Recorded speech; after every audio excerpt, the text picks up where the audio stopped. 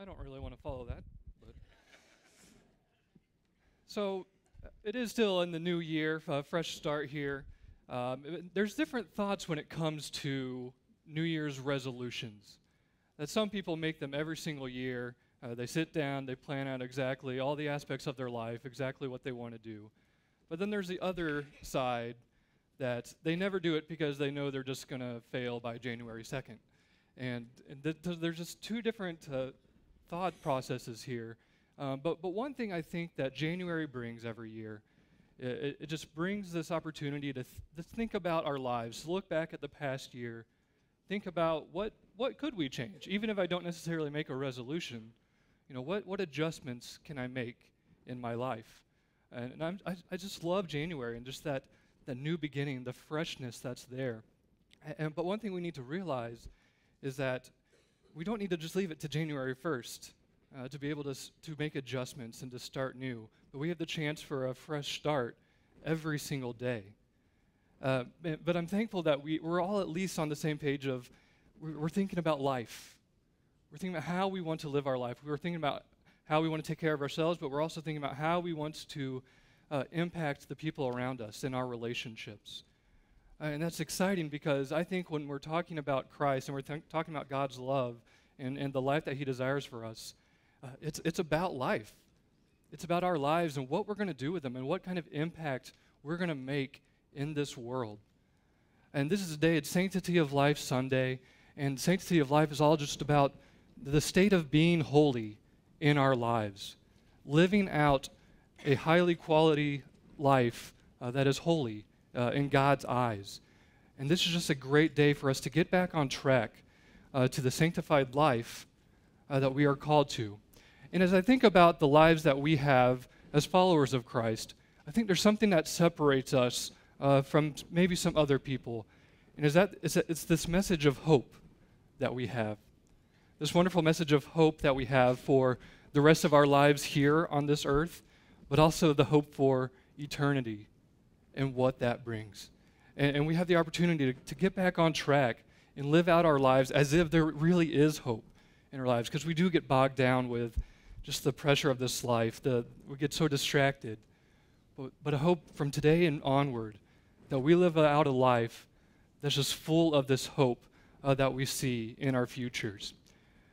And, and we get to, and we, the great thing is, in the book of Revelation, we get to see uh, what heaven will be like. Maybe not in its, in, in its entirety, but we, we get to see a little bit, a little segment about what it's like. And it's in Revelation chapter 21, verses 3 through 5. It says, And I heard a loud voice from the throne saying, Look, God's dwelling place is now among the people, and he will dwell with them. They will be his people, and God himself will, dwell, will be with them and be their God. He will wipe away every tear from their eyes. There will be no more death, or mourning, or crying, or pain, for the old order of things has passed away. He who, has, who was seated on the throne said, I am making everything new. And that's the hope that we're able to have. That one day, all the pain that is here on this, on this earth will be swept away. There will be no more death. There will be no more brokenness. And that's the hope that we need to hold on to daily. Remind ourselves of that, that we have this opportunity for this eternal life in God's presence, free from pain. And what a wonderful promise that is. But, but there's, there's a part in there that, that might remind us of something when it says in verse 3 that, and God Himself will be with them. And, and that should take us back uh, to the book of Genesis when, we when we think about creation. And, we, and, and Adam and Eve were able to be in the presence of God, that people were with God in His presence. Then we think about it too, and we're making this comparison that in the beginning there was no pain, there was, there was no plan for death. The life that God intended for us was free from pain, free from death. But as, as many of us know, that, that quickly uh, turned in a different direction. And we're actually able to see when pain was brought into this world uh, through Adam and Eve disobeying God. And it's in Genesis chapter 3, verses 16 and 17. And to the woman he said, I will make your pains in childbearing very severe. With painful labor, you will, be, you will give birth to children. Your, des- your desire will be for your husband, and he will rule over you. To Adam, he said, Because you listened to your wife and ate fruit from the tree about which I commanded you, you must not eat from it. Cursed is the ground because of you. Through painful toil, you will eat food from it all the days of your life. So we see here, our life right now is bookend by two times when there is no pain, when there is no death, when we're in the presence of God at the beginning and at the end, and one day forevermore. But we find ourselves here in the middle. We find ourselves in a life that is full of pain, that is full of tears, that is full of mourning. And there, there's great aspects to life too. There's, there's peace and joy thrown in there too. But we're in this middle ground, this battleground, where one day all this stuff will be swept away. So, so what do we do with that? If, if we know that at the beginning we were in God's presence and there was no death, and that's the same one day and forevermore, what, what are we supposed to do in the here and now? How, how can we bridge that gap and bring creation and heaven? How can we bring those things closer together and, and, and kind of maybe get rid of this middle ground a little bit more that we're in? And I think as followers of Christ, as people who have this hope, I think we really have two tasks while we're here on earth. And the first is what we call discipleship. That when we give our lives to Christ and, and, and we, we repent and we're baptized, we're called to disciple others. We're called to bring others into a relationship with God, with Jesus. And that's something we should be actively doing day in, day out as best that we possibly can. Uh, that, that this hope that we felt in our own lives that, that made us want to be baptized, that we, that we want to share that hope with others and help them know that there's something more, that there is this relationship with a God who loves us. And that if they're already saved, that we can help them out, just keep them going, just keep being an encouragement to them. I think that's our first task. And our second task is, I, is what I believe is how we accomplish the first. And that's to give others a taste of heaven, to help them experience this life that is promised to us one day that the promise of no pain, no mourning, no crying, no tears, no death, that we need to be bringing that to this world and to, into the lives of the people around us. And I think when we think about how do we follow that, how do, what example should we follow with that? I think looking at Jesus' life is just the perfect example of that. That Jesus was, was somebody who was constantly trying to bring people into a relationship with God. And he was trying to heal people. And that's exactly what he did. That he, he healed the blind man, he, he allowed him to see. Uh, the people who couldn't walk, they, they would run and jump for joy. And he even conquered death. That Jesus was all about making sure that this world was as much like heaven as it possibly could be. And we see that in Matthew chapter 6, verses 9 through 10. And this is, this is the Lord's Prayer. And it's something that many of us know. But it starts with uh, This then is how you should pray. Our Father in heaven, hallowed be your name. Your kingdom come, your will be done on earth as it is in heaven. See, that, that was Jesus' prayer, that this world be like it is in heaven.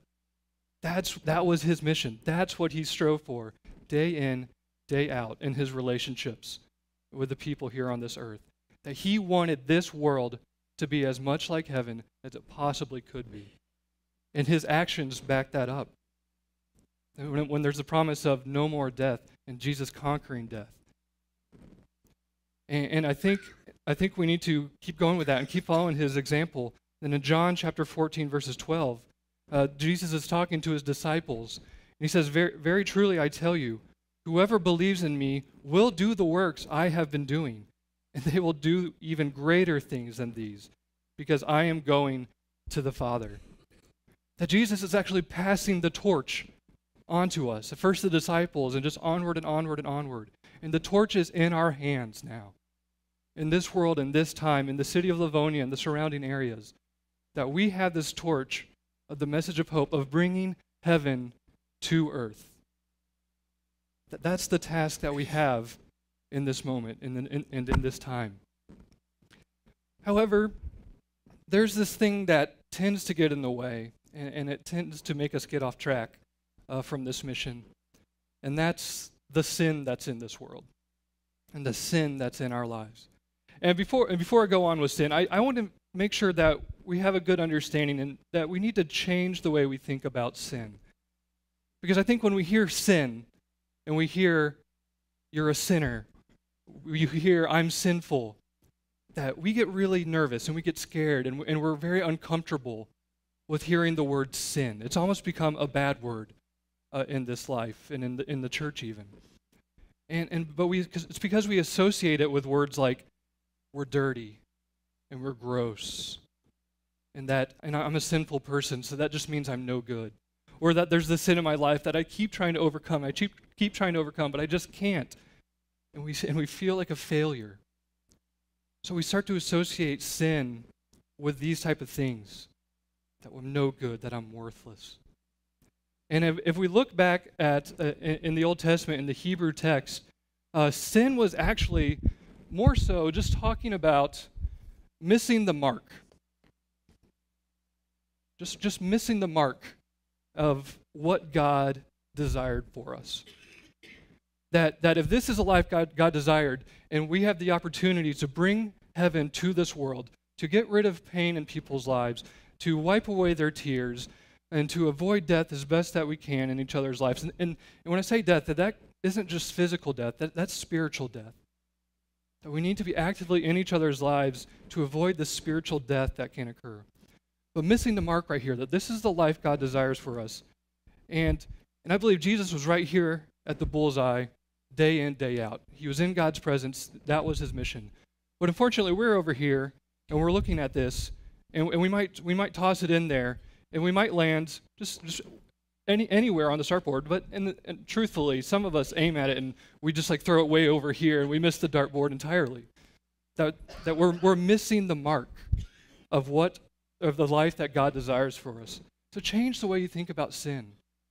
Realize that you're not worthless, but we're just we're missing the mark of what God wants for us. And I want to make sure that I'm not trying to make this too light because sin is a very real thing and and, and sin is scary because it brings pain into our lives.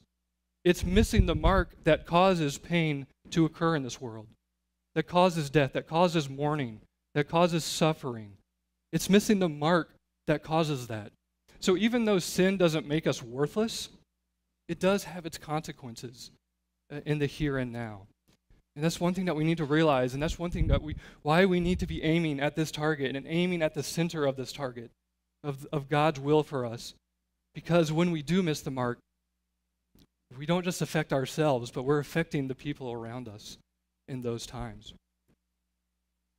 And, and, and, and I have a fear that sometimes that we, we approach this here on Sunday morning, we're looking at it and we worship and we sing great songs of praise, and that we're in prayer and we take communion. And we're looking at this and say, okay, well, this past week I might have been a little over in this section, and I'd like to get back more into the middle.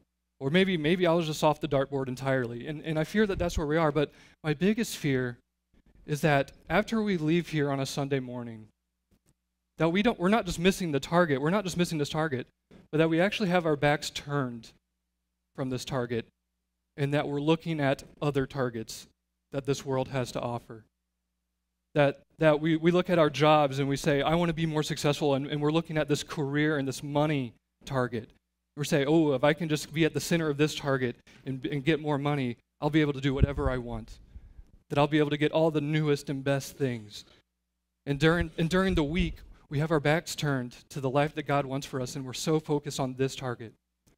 Or there's another target where, where you just want to make sure that you get your way all the time, or I get my way all the time. That we want to be right in every situation. That, that, that we just want to make sure that our life is as easy as possible. And, and there's another one, and, th- and this is the one that I struggle with the most. It's, it's the target of comfort. The target of comfort, that we just want to be able to just go home, sit on the couch, and relax. That we want to live as comfortable a life as that we possibly can. That we, we, we do want to avoid pain, and, and, and that's not a bad thing per se. But when we're, when we're avoiding this target and getting into the life that God desires for us, you know, we're, we're, we're missing the mark entirely. We're aiming at the wrong target. And that's just a question for you is what are you aiming at Monday through Saturday? Does, does that look different than it might on a Sunday morning or Sunday night? And that's a question that we all have to answer for ourselves is what are we aiming at Monday through Saturday? Uh, and, and it's important to realize in this situation, too, that the closer we are to God, the higher chance we have of repeatedly hitting the bullseye. The more we're in God's presence, whether Sunday morning, Sunday night, Wednesday night here, but it's not just that, it's having your Bible open daily. In the morning, when you go to bed, just throughout the day, it's being in prayer and actually talking to Him every single day of the week as, as best that you can in every opportunity. That the closer you are to this target, the better chance you have of being at the center of it, the easier it is. Because when you stand back here, and you might you might be wanting this target, but if you're not in God's presence, it's a lot harder to, to throw our lives into that target and hit the center.